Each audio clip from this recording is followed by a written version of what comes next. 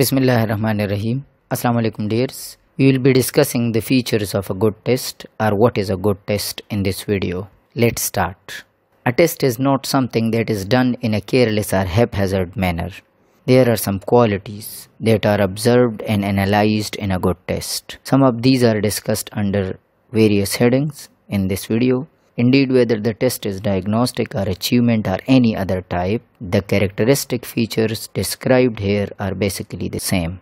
Language testing is a very formal process, and if tests are not prepared and administered according to standards, the results will not be reliable and true, and thus we will not be able to understand what the students have learned and how was the teaching learning process during a course. The first feature of a good test is validity. According to Benham, validity deals with what is tested and degree to which a test measure what is supposed to measure. For example, if I as a teacher want to test the writing skills of my students and I give them the test containing the questions regarding cooking, my test will not be valid because if my purpose is to test writing skills then my test should test the skills of writing not the skills of cooking. So in this case my test is not valid. Following are the types of validity construct validity content validity face validity and washback validity Construct validity is the first type of validity. It is a theoretical concept that involves other types of validity. Where an educationist writes that to construct or plan a test, you should know the student's behavior and their mental organization. It is the ground on which the test is based. It is the starting point for constructing our test task. In addition, he displays that test design requires some theory, even if it is indirect exposure to it. Moreover, being able to define the theoretical construct at the beginning of the test design, we will be able to use it when dealing with the result of the test.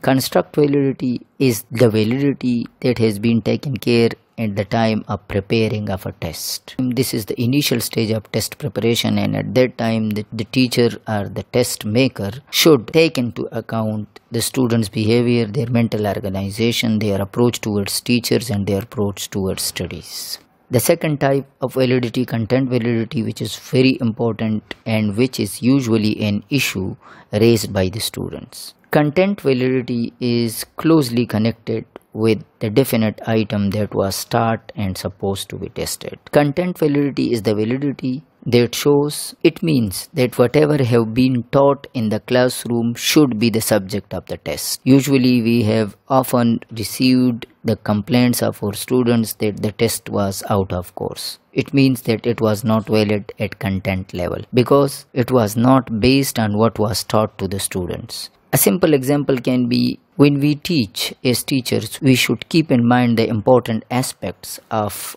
our topic and our course our study material because we will have covered them in our tests and examinations. Let's take an example. If we teach all aspects of computer to our students it is very difficult for us to cover all the aspects in the test related to computer. So we should pick important aspects the aspects that was taught and explained in detail in the classroom and only in this case our test will be valid at content level. Another type of validity is washback or backwash validity. According to Hughes backwash is the effect of testing on teaching and learning process. It could be both negative and positive. The teachers should make backwash positive more and more. Hughes believes that if the test is considered to be a significant element then preparation to it will occupy the most of the time and other teaching and learning activities will be ignored. As a teacher we should work on getting positive backwash. If the test is not valid if the test is not reliable if the test is not clear if the test does not have clear instructions if it is not understandable we will be having negative backwash the students will not be motivated after taking a test. Another feature of a good test is reliability. After validity, the most important aspect is reliability.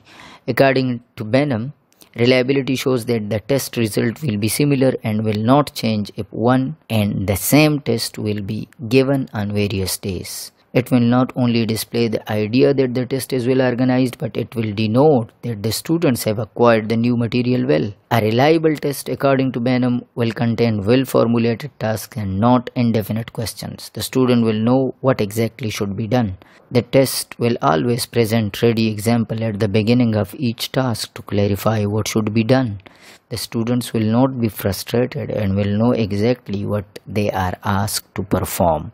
Now a reliable test is a test that produce similar scores if it is conducted on different days. It is very hard and difficult to make a reliable test because there might be many variables that might affect the reliability of the test, but it is one of the essential element of a good test. Accuracy is another feature of a good test. A good test must be capable of accurate measurement of the academic ability of the learner. It shows exact capability and ability of a learner. A good test should give a true picture of the learner. It should point out clearly areas that are learned and areas that are not learned. All being equal, a good test should isolate the good from the bad.